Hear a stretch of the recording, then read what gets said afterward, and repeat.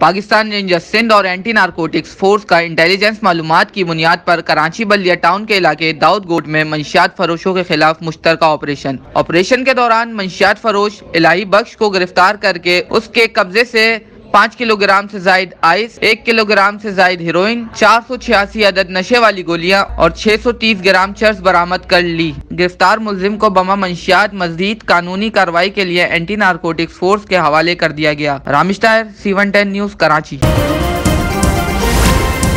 C one ten news, खबर की असल खबर।